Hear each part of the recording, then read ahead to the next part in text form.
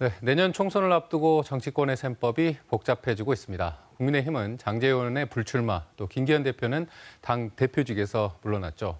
민주당도 이낙연 전 대표의 신당 창당을 두고 연일 시끄러운데요. 이 시간 박지원 전 국정원장 모시고 이야기 나눠보겠습니다. 어서 오십시오. 네, 안녕하세요. 네. 일단 긴박하게 돌아가고 있는 여당 이야기부터 좀 해보겠습니다. 친윤 핵심인 두 사람의 갑작스런 결정, 뭐 갑작스럽다고 해야 할지 모르겠지만 윤 대통령의 의지가 작용한 것 아니냐 이런 추측들이 나오고 있는데 어떻게 보십니까?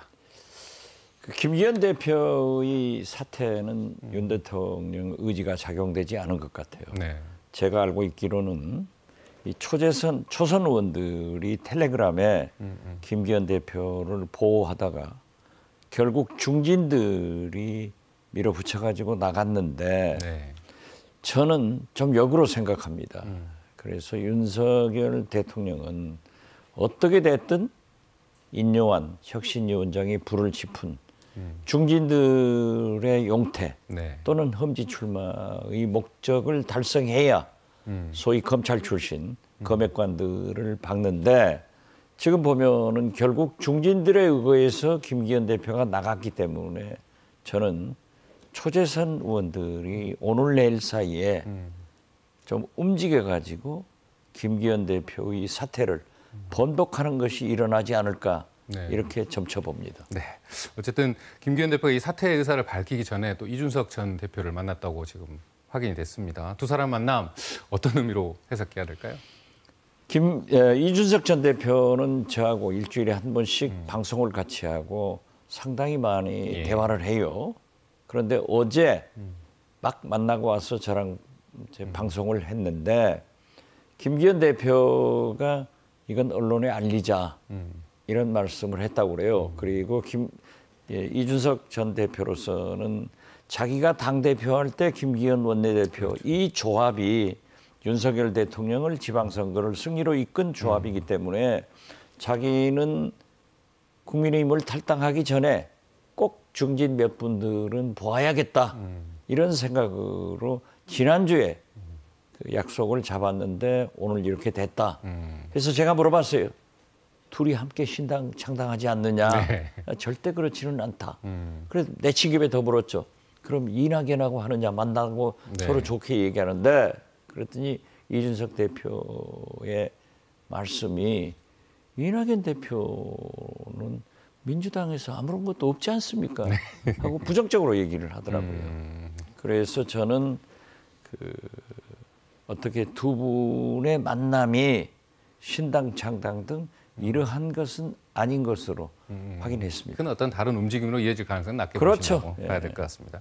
어쨌든 국민의힘 인적 쇄신 이 움직임 속에서 결국은 27일 탈당을 예고한 이준석 대표의 신당 창당 사실 좀 동력이 약해지는 것 아니냐 이런 좀 분석. 아, 그건 아닌 것 같아요. 제가 작년부터 네. 여기 와서도 얘기를 했지만은 윤석열 대통령이 이준석, 유승민을 몰아내기 때문에 창당을 하는 거예요. 네.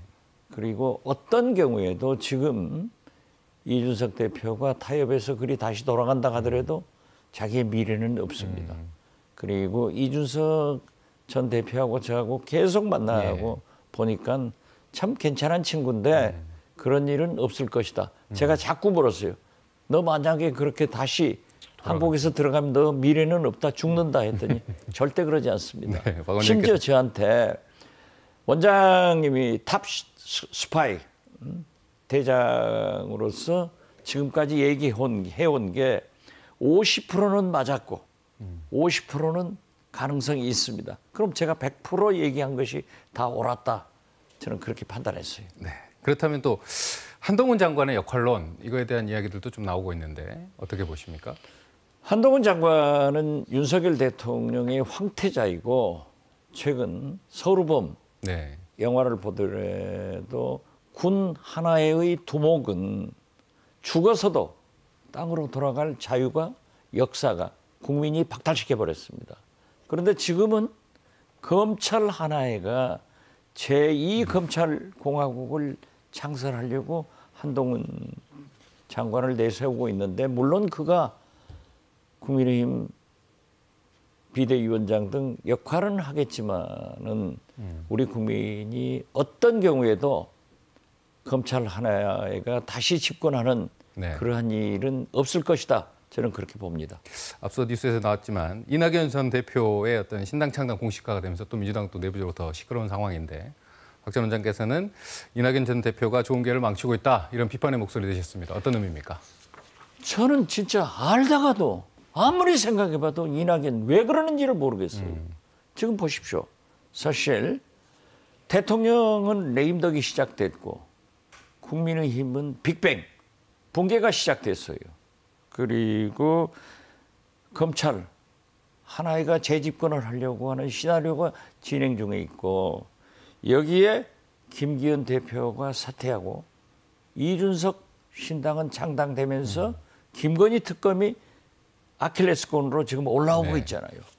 이런 때 저는 작년부터 보수가 분열된다.